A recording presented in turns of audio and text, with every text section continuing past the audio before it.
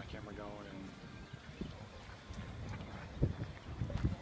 And talk about your, your new role. It's out of the bullpen. How does that change you as a pitcher? Yeah, um, for sure. Yeah, just coming out of the bullpen, I know I have to attack, attack the strike zone and uh, just really get ahead of hitters and try to have clean innings. And it's definitely a new mindset. Um, I'm not that used to it, but I've done it in the past, so I know what to look forward. And uh, yeah, I definitely. I mean, it's just trying to do whatever to help the team right now. Just whatever they want me to do. Mentally, I mean, how do you deal with something like that? I mean, a lot of fans or people might say that's kind of a devotion. What was your reaction to it? No, uh, I just looked at it as a new opportunity. Uh, you know, everything happens for a reason, and uh, I just try to take every every time I get out on the mound as a new opportunity to, to get better and to better myself. And uh, I've made a couple adjustments with what I'm doing, and uh, I think the past couple of times it's, it's worked out pretty good. And um, so yeah, I'm just every time I get out there, I try to take advantage of my opportunity.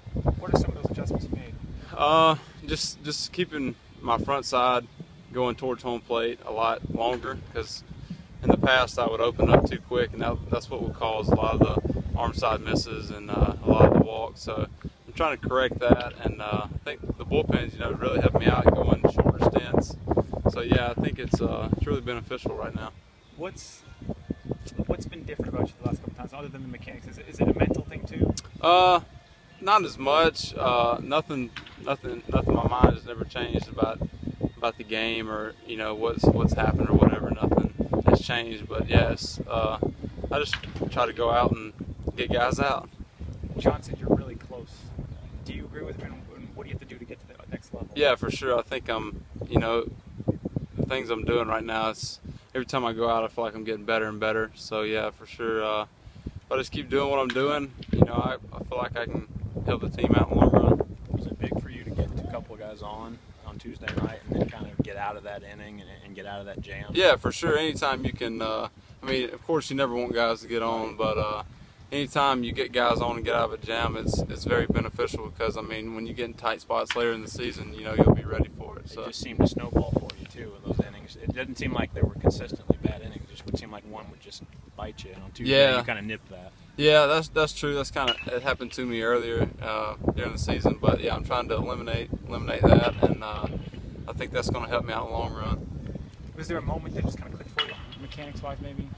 Um, I think you know, just working with Coach Thompson, it's it's a process. You can't just do something uh, one day and then expect for it to work. You know, you have to really work on stuff, and I think that's what um, I think you know, those two weeks, week and a half of me preparing, you know, to get back out on the mound and, and have a good outing or have a good couple innings is really big.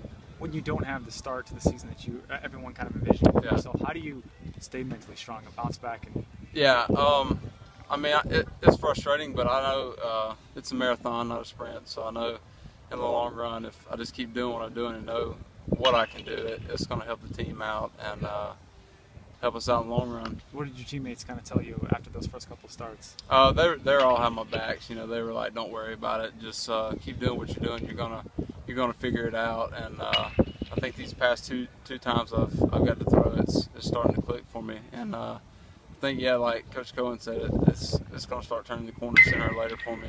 What was it like for you, obviously not pitching last year in Omaha, and then getting your opportunity this year, and it didn't go how, how you Yeah, for sure. I mean, that was that was a good experience just to be able to to go with the team and uh, watch all the games, and uh, it was huge for me. It, it was tough at the same time because I wish I was out there, you know, helping helping the team. But I took that, you know, kind of as fuel to the fire for this year. And I know the first couple starts didn't go the way I wanted it to, but it, it's a process. So I mean, it didn't bother me at all. You know, I know what my team can do and and what they can do behind me. So. Was there almost too much fuel in the fire? You think that you were almost too excited to get back out there? And, Uh, maybe, but I, I mean, it, you just can't ever tell. I mean, Yeah. the game of baseball is so weird, but uh, no, I just, I, I, obviously, I was ready to get out there because I, you know, missed a lot of the Right. season last year, but no, uh, it, it didn't really have any effect on me. Thanks, Brandon.